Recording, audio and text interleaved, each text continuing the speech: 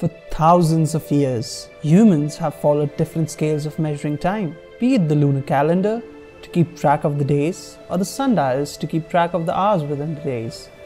Humans have always had this innate drive to track time, and of course, without it, our civilization wouldn't be able to stand where it is today. But with recent discoveries in the field of science, many concepts and theories have been upturned by new ones, and so does in the case of tracking time. In the 1960s, scientists invented the atomic clock. Even though being a clock, this device functions on a relatively different concept than our normal clocks. A normal day on Earth has 86,400 seconds, but on an atomic clock, a second isn't defined as 86,400th part of an Earth day, but rather as the time it takes a cesium-133 atom at the ground state to oscillate precisely 9,192,631,770 times, making it a much precise measure of time. Why so?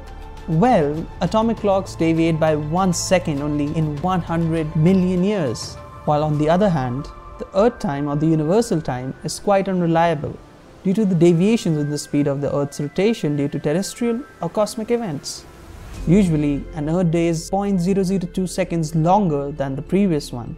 And if we consider this to keep on going, then in 1.5 years approximately, a day would increase by 1 second. And for this very purpose, scientists came up with the concept of a leap second. The entire world follows the UTC or Coordinated Universal Time, which is measured with the help of an atomic clock. The fact that atomic clocks only deviate by one second in 100 million years put us all in a tough spot when the year increases by one second on average every 1.5 years. That's a lot of maths, but that's where the leap second comes in. Every time the Earth time is about to cross the 1 second difference, a leap second or an extra 1 second is added to the watches around the globe to keep up with the difference. In history, this has been accomplished 27 times since 1962. But recently, sometime in 2016, it has been discovered that the Earth's speed of rotation hasn't been decreasing, but increasing, which resulted in the shortening of the day. For example, a Sunday in January only lasted for 23 hours, 59 minutes, and 59.9998927 seconds. In fact, 2021 is expected to be 19 milliseconds shorter than 2020. Even though the amount is very small, it is yet a deviation from the equilibrium set between the UTC and the Universal Earth Time.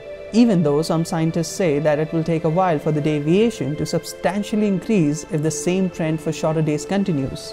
But the international community is wondering that whether or not a negative leap second would be needed. A negative leap second would work on the same concepts as that of a positive one, but instead of adding a second to the year, it shall reduce it by one and reduce a minute to 59 seconds.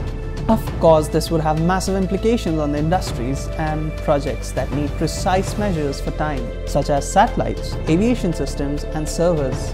As a matter of fact, the addition of a leap second in 2012 resulted in multiple worldwide server crashes. But the international community of scientists is still uncertain whether or not a negative leap second would be needed. But an official word from the timekeepers is still awaited. Let us know about your thoughts down below in the comment section and stay tuned for more. And if you're new, subscribe to our channel and ring that bell.